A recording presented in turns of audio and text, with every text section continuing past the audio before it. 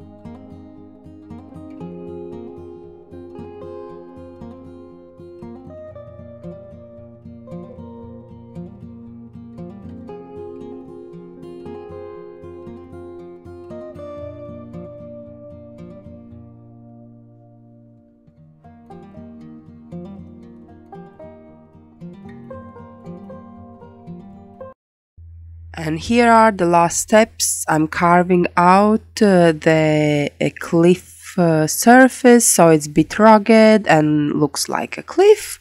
And after that when I'm finished I will let it uh, sit and dry hmm, for a couple days at least.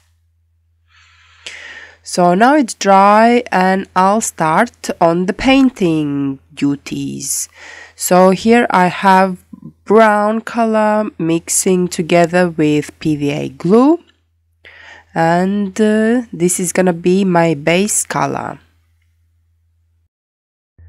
So while I paint here I can let you know where I have been gone for this couple months I think. Uh, in case you wondered. So basically I have taken up a new job and the job also requires a studying part so it takes a lot of my energy and I don't have as much free time as I used to before when I didn't work and I could spend all my free time thinking about crafting.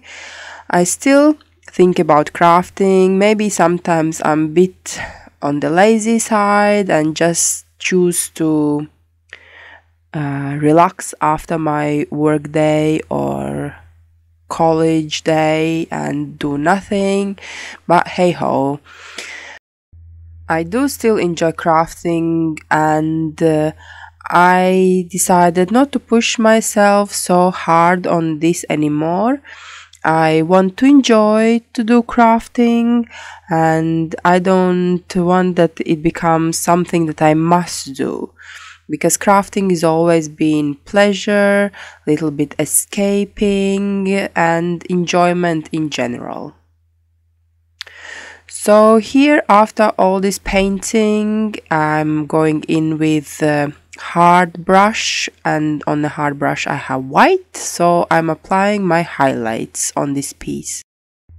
And after that is gonna be my absolute favorite part. I gonna paint my board in sea colors and then I will be feeling how the piece is gonna eventually turn out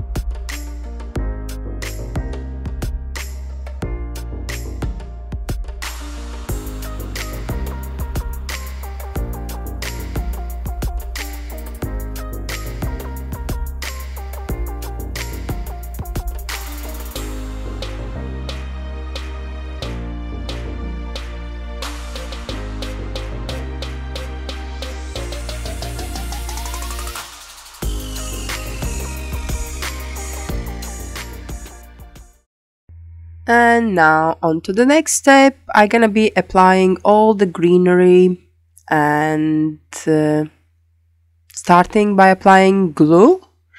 So after I can just sprinkle my greenery and it's gonna stick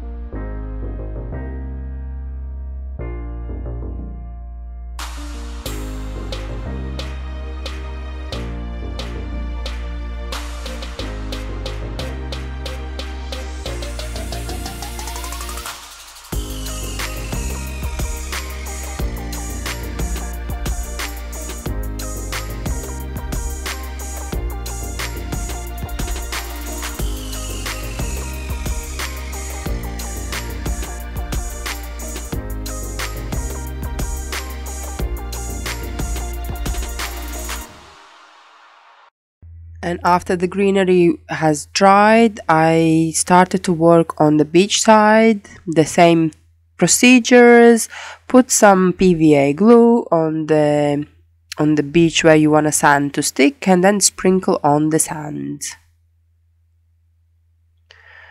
And once this step is gonna be finished and it's gonna dry it's gonna be time for the resin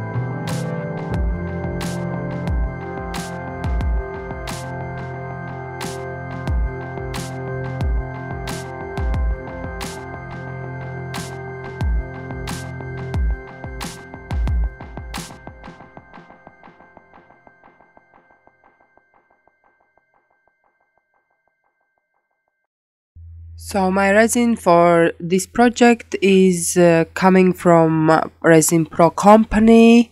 It's um, Deluxe Art Deluxe Pro resin. It's really thick. I have been using it for a while and uh, I'm still getting used to it. I thought I would really enjoy working with really thick resin but sometimes it takes time before it gets places if you know what I mean. And I feel like maybe it does produce more bubbles than usual resins um, but overall it always uh, does take a little time to get used to a new resin. So you need to be just patient and now I'm gonna be brave and gonna try my new machine new heat gun that I already had it for a year but I was always scared to use it because I felt like it gets too hot on resin. And also the nozzle was not right for my liking. So I did spend a little money on extra nozzles and it's really narrow this one so I think I have a bit more control over this gun now but it is really big and heavy machine gun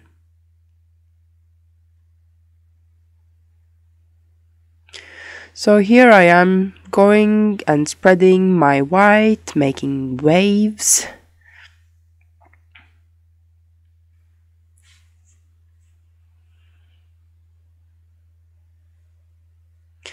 And after I will finish this layer I gonna go in with another one. And that's gonna be my last one. So here I'm starting slowly slowly to go and pour my resin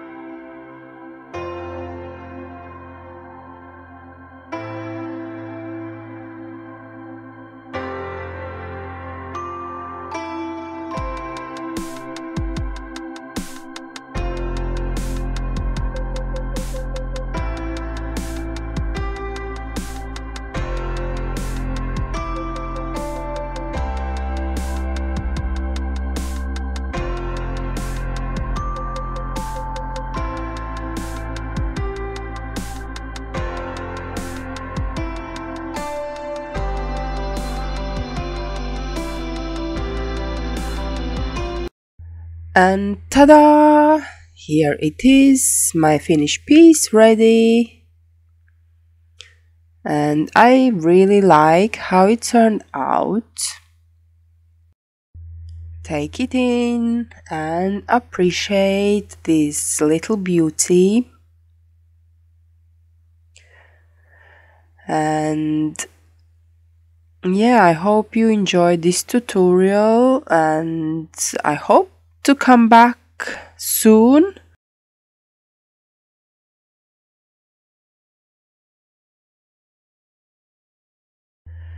Please let me know what you think about this piece and leave a comment down below.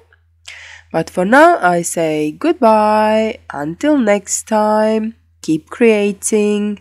Bye.